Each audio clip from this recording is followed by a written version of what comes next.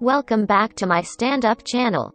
MSNBC staffers are panicking over the direction of the left-leaning news network under newly minted president Rashida Jones.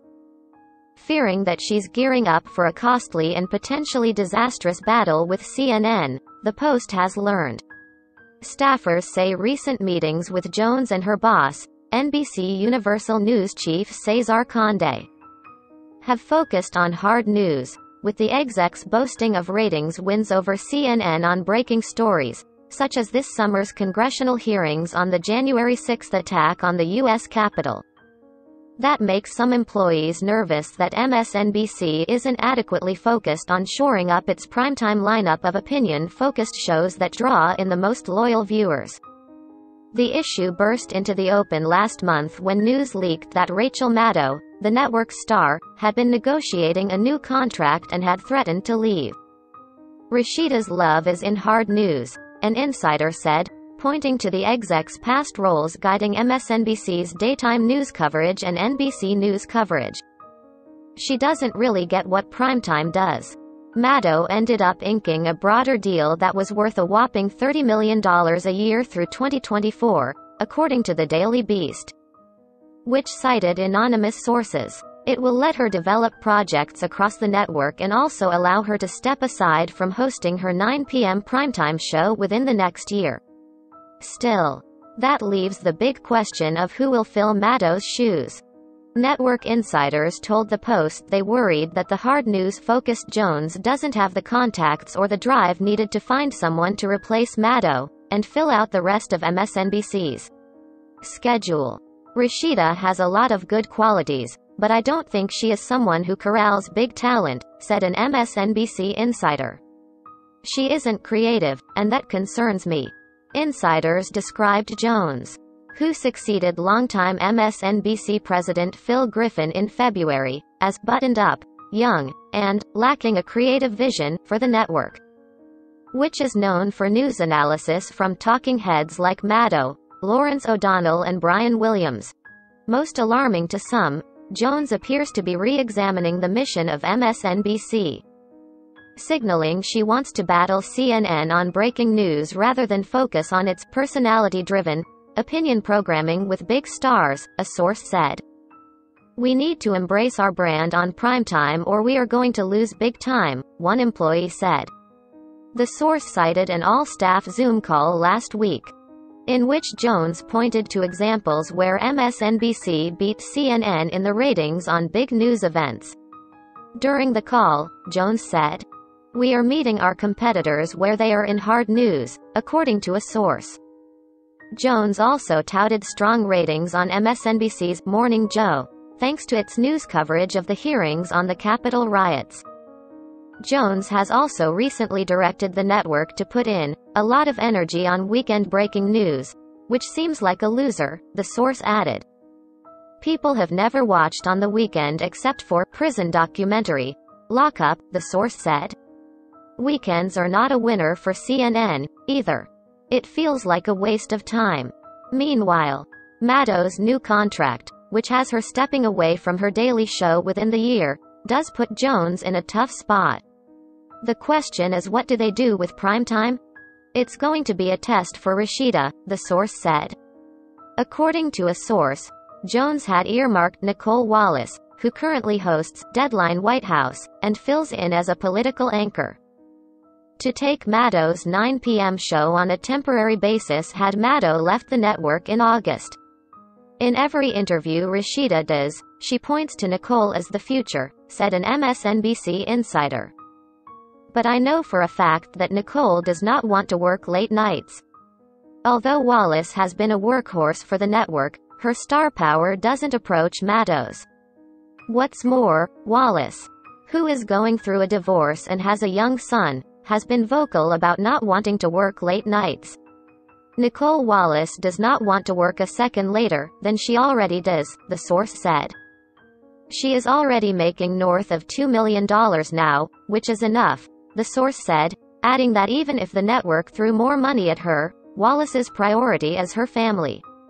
MSNBC declined to comment.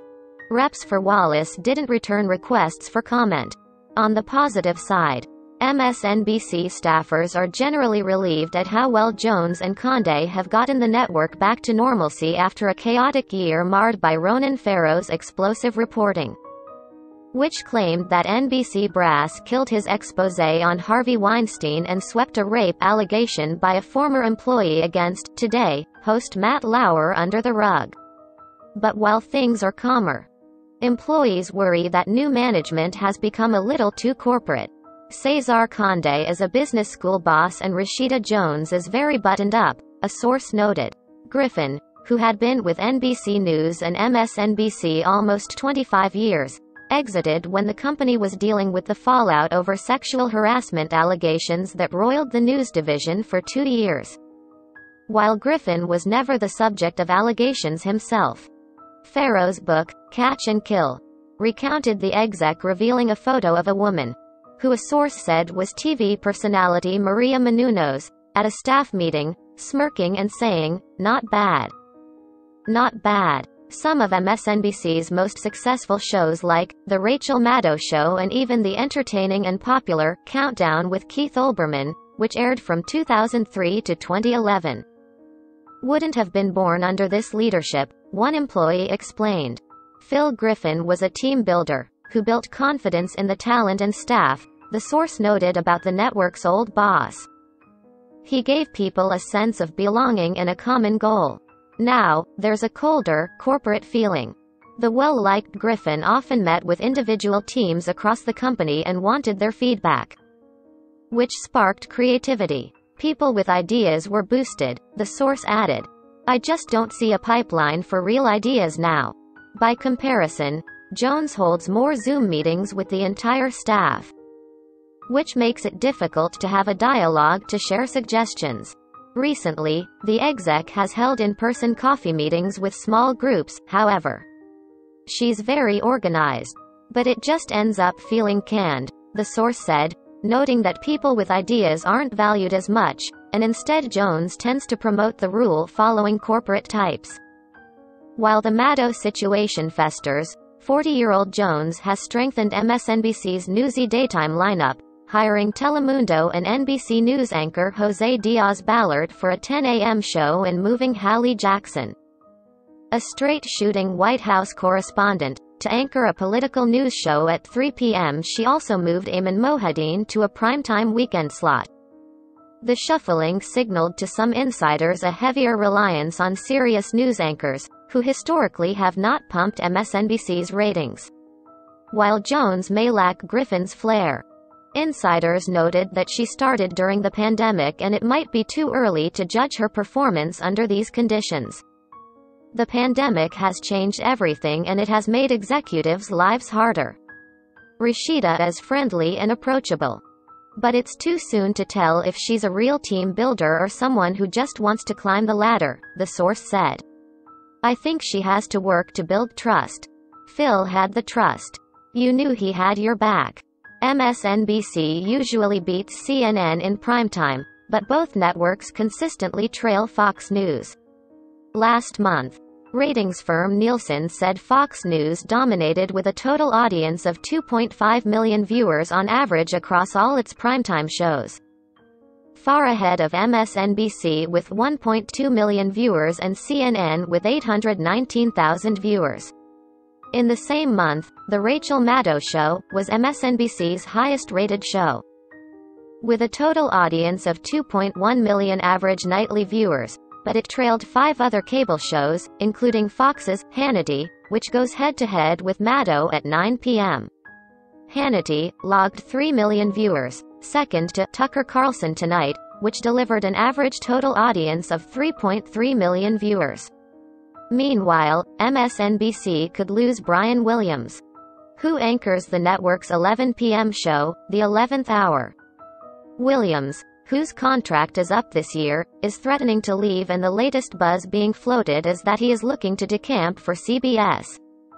But one source called that a laughable rumor, meant to motivate MSNBC parent NBC to keep him. Although Jones has not made an explicit directive to cover hard news. One staffer noticed a shift in the kinds of stories MSNBC is now doing under her. The source pointed to live coverage of the SpaceX launch earlier this month on Chris Hayes' show, All In. There were conversations about should we be covering that? In the past. We wouldn't, the source said of the rocket ship launch. Does our primetime audience care about a SpaceX launch? Probably not. Source. nypost.com Please like, share and subscribe. Thank you for watching.